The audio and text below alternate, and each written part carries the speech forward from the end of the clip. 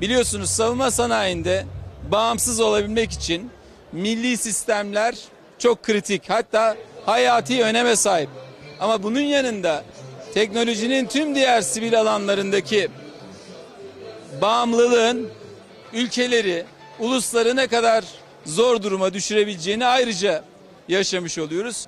Yani kolumuzda taktığımız saatten kullandığımız cep telefonlarına, bunun yanında araçlarımıza her yerde aslına bakarsanız içinde yazılımlarla yaşayan, karmaşık elektroniklerle yaşayan bir makineden bahsediyoruz.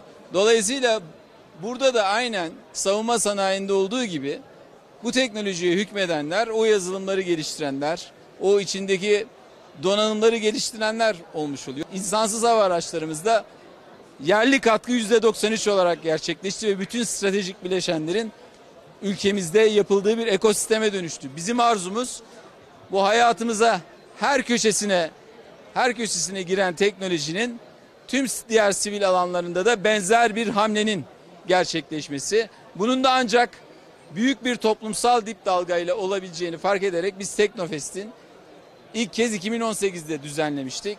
10. Teknofest'i düzenliyoruz.